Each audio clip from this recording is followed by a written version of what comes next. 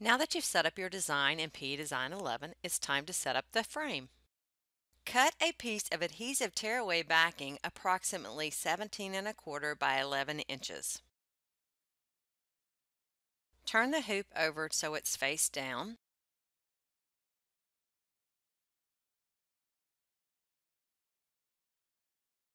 Peel back the release paper from the back of the stabilizer.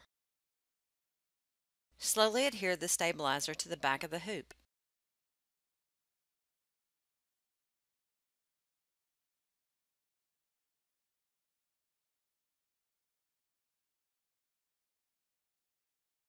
Adjust the position if necessary.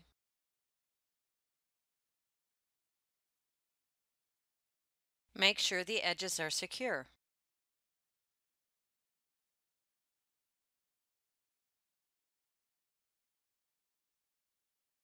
Turn the hoop right side up and then secure your project to the stabilizer.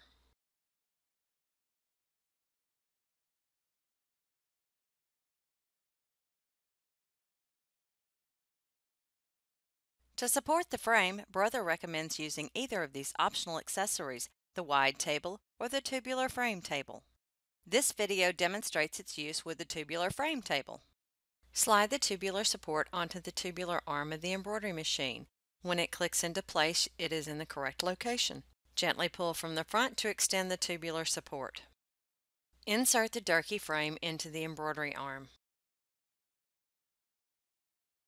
On the machine's screen, touch USB. Touch the thumbnail of the complete pattern. Touch side AA. Touch Set. Press the center up arrow until the design will not move any further. Touch Embroidery. Thread your machine and embroider the first half of the embroidery design.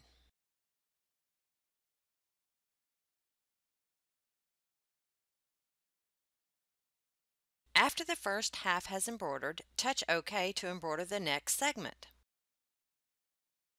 Touch the design BA. This is the second half of the design. Touch Set. Touch embroidery.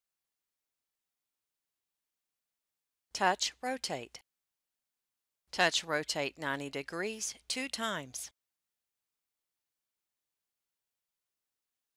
Touch OK. Now that we have the design oriented correctly, it's time to align it.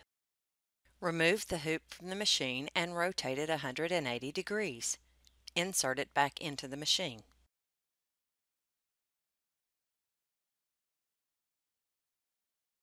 Touch the starting point position key. Choose the bottom right point. Touch OK. Now it's time to line up the LED light with the alignment stitch that was stitched at the end of the first half of the design. Use the arrows to move the design. The LED light should be directly over the tie-off knot at the end of the line.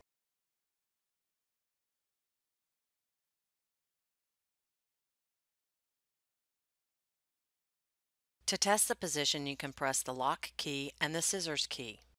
This will drop the needle to show you if you're in the correct place.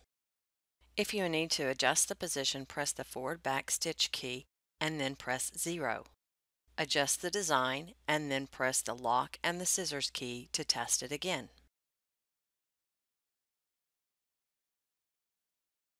Once the design is aligned, press lock and then start. If you don't wish to stitch the second basting stitch, you don't have to. You can press the forward back selection key and fast forward a color.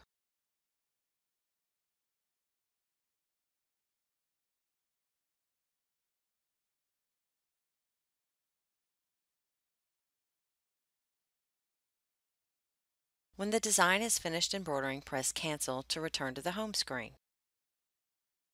Remove the hoop from the machine. Gently remove the basting stitches from the design and remove from the hoop.